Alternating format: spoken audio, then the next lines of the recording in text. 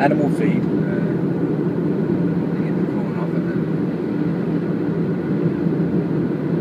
it was there, wasn't it? Corn? Cornfield, yeah. I like cornfield. Kevin Carr. What is his name? Kevin? Watch. Kevin Costner. Oh, the actor. I don't know. I forgot his name. He made that movie, favorite movie. Kevin something. He was hot. You know what that is? Or maize. What's this one?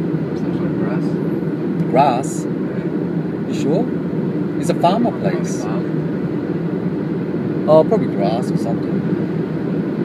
They have tractors here though. They farm a lot. See, tractor. f- Look, tractor, tractor full Easter Sunday. Yeah.